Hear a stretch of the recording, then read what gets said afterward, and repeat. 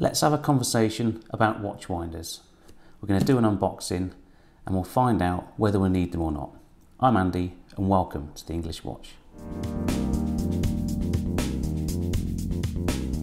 Okay, so we're going for a bit of a different look today. We're in the kitchen, got the TV behind us, got the lights set up. Uh, there's a bit more space to do an unboxing, so I hope it works. Please give me some comments, let me know if this works for you. Okay, so this is a Wolf watch winder. I bought this on Massdrop or drop.com in America. I'm in the UK. So I bought it in America, bought it in dollars and got it imported. So I think these retail for about £500 if you buy them from Wolf. Uh, you can buy them on Amazon. I'll leave a link in the description. But they're you know four to five hundred pounds for this this type. Now I paid. Um, I've got an image here of the receipt. I paid on Massdrop 152 pounds. I also paid uh, import duties of about £10, so it cost me about £160 to buy it on Massdrop and get it imported, which at the time I thought was a really good bargain, and it still is. So you can go on to Drop, they have lots of Wolf products on there. So this is branded by Wolf as the Viceroy, it's the Module 2.7. Now Wolf tend to name their ranges, and this is no different. So the, so the Viceroy range comes in a series of different modules, all with storage in the top. You can have multiple sets of winders. Uh, this is just the single. Now Wolf are renowned for their quality, uh, certainly in watch winders and watch boxes, so go check it out. Anyway, let's get into the unboxing. So this is how it arrived uh, in this black cardboard box. Uh, we've got an outer sleeve, so we'll just tip it over, just lift up this outer sleeve. What you'll notice is that everything is very well made, good tolerances. So one outer sleeve there, so we'll just put that to one side. And then we've got this box.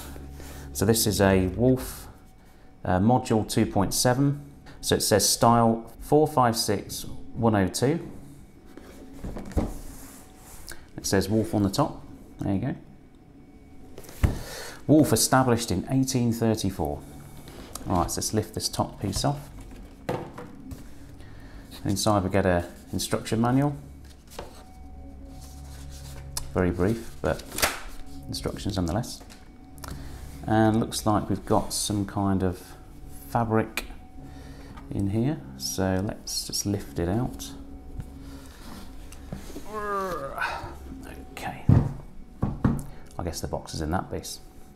Right, so in here also, inside this box, um, it's pretty unremarkable in there, it's just a nicely made wooden box. We have, uh, if I can get it out, another box here. Let's just put this one down. And this is a box that says universal adapter 100 to 240 volt. So let's just check that out. Okay, so we've got a universal adapter. I think this thing takes batteries as well. Uh, and inside We've got plugs for most countries, so there's an American version, a European version, and a UK version. I never know. I never know what this one is. This is like the diagonal pins. If anyone knows, let me know because I don't. And I guess for the UK, as it's where I am, I just slide that on there, and that is a UK style three pin plug. Right, and here we have the watch winder. So let's just pull this wonderful sack, I'm going to call it. You could use this for your hanging up on the end of your bed for Christmas. Um, and we reveal the watch winder itself. Now this watch winder is more than just a winder. Let's look at this sack here. There's a wolf. I suppose you could use that for putting your swag in there or whatever. Let's just uh, put that to one side as well. So this is a wolf watch, watch winder and storage. So it comes with storage for three additional watches in the top. Now the winder is supplied with these cushions here. So three watch cushions. We've got a key here, so there's a locking portion on the front here. So if you want to lock it, not that that'll deter anyone. And then to open the front, push that button in, lift it up, and we're revealing the compartment here where the winding takes place. So we have this quite nice um, cushion here. Now you can get these in different sizes. This one is the, the larger size, but it does squeeze down for my watches. So what I'm going to do is take off my Planet Ocean there and without adjusting the band, uh, you'll see that it goes on. What we're going to do is just squash it down. And it's not putting too much force on, so you can see there it fits quite nicely. And then what happens is that just clips in there, it's nice and secure, so that's not going to fall out. I hear some of the old ones, this piece used to fall out. Okay, so you have some controls here. We've got um, direction control, so this one goes forwards and backwards, and it winds in both ways um, randomly. We've got an LCD display here, which tells you how many winds that you've set it to, and also for the timer. And down here we've got an on-off switch and a timer switch. Now one feature of this box, and one of the reasons why it's a premium watch winder, is because some winders, and I guess most of the cheaper ones, that you can buy. As soon as you switch it on, it just winds. It winds and winds and winds. Some of them you can set it for a set number of turns, so it will wind for 100, 200, 300 turns and then turn off. But what this one does, it allows you to um, dial in the power reserve for your watch. So if your watch is say um, a 60 hour power reserve like this Planet Ocean, then you can set it for, I don't know, let's say 50 hours and it won't start winding until the watch is wound down almost to nothing and then it will start winding. And then it will wind for the number of winds that you determine per day. Again it could be anywhere from I think about 100 to 400 and then it will stop and allow the watch to power down and unwind the mainspring and then it will restart again hopefully if you've timed it correctly before it's completely unwound and it's stopped now if we look at the general construction we've got this very nice um, quilted um, I don't know what sort of fabric is. It's a synthetic fabric, very hard wearing, but it's got like this um, black diamond pattern on it that's quite pleasing. I think you can get these with a purple or an orange fabric as well, which look pretty funky. And this is made of, uh, I'm going to say leatherette. I don't think it says genuine leather anywhere on here. Uh, and I wouldn't expect it to either. And then at the back, you've got a power socket here for plugging in your power adapter plugs in here, like so. And you've also got a little compartment in the back for putting batteries in. So if you're unable to get it near power, uh, I can't imagine this takes a lot of power. So uh, I imagine those batteries will last for some time. And they are the larger D size batteries and it takes two. Right, so let's see what it says in the instruction manual. So it says, congratulations on your purchase of this watch winder. Please review this quick start guide so that your automatic watch will benefit fully from the features that have been engineered into this product. And I like the word engineer. Uh, I'm an engineer, and when someone refers to the engineering within a product, that means it's been designed specifically for its purpose.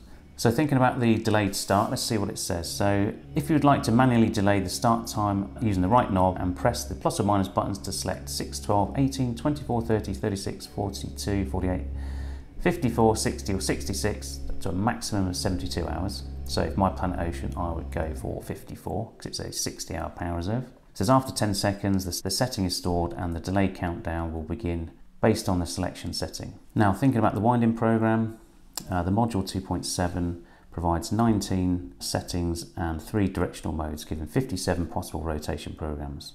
With respect to the turns per day setting and their parameters are listed in the table on the back of this leaflet.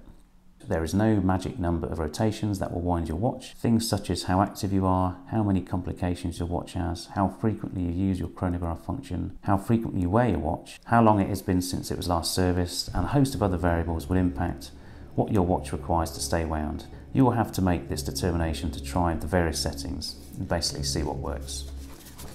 So on the back there's a little table here that shows turns per day, the number of the cycles and the turns per cycle. What we'll do is we'll turn it on and give it a go.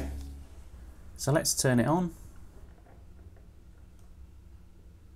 And then you can see the number of rotations flashing and the fact that it's bi-directional. You can move it up and down by increments of 50 for the number of rotations that you require. We select now the power reserve mode. I'm going to put it up to 54 hours and this means that my Planet Ocean can run down to almost zero before the winding action starts. So one of the main advantages of having a quality watch winder as well is the silent running. So what we're going to do is we're going to turn it on, let it start going, and I'll put the microphone up to it and you can not hear how quiet this is.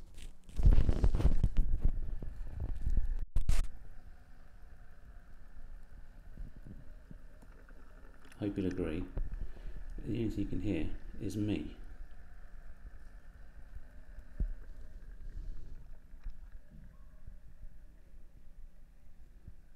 The winding whir it's very faint.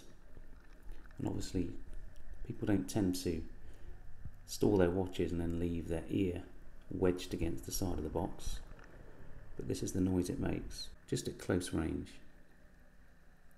so what are my closing thoughts? Well, I think this is a really well-made watch winder. I think the way I bought it was really interesting. Uh, I've never bought anything from America like this before. Certainly not off uh, kind of an auction or a countdown site like Drop or Mass Drop as it's called now.